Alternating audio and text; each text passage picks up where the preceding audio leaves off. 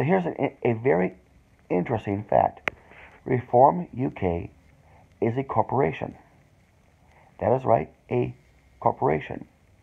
And Nigel Farage, the leader of Reform UK, controls 53% of the stock in said company. So you have a corporation masquerading as a political party threatening to pulverize a center right conservative party. Yeah.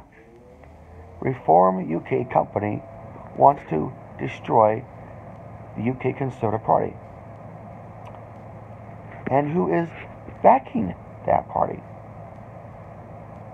Well, we know that Steve Bannon and Sebastian Gorka have backed and endorsed Nigel Farage in the 2024 UK general election.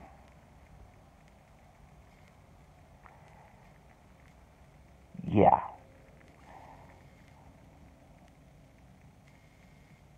My message for Mr. Gorka and Mr. Bannon is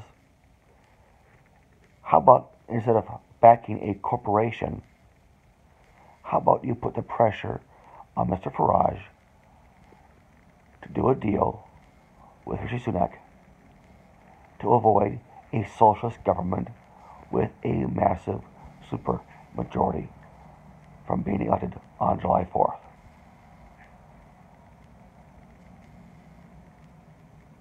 And any other MAGA conservative that is backing Mr. Farage, I would have this message. No conservative should be indirectly in advocating for the election of a socialist government anywhere. Period. That is right.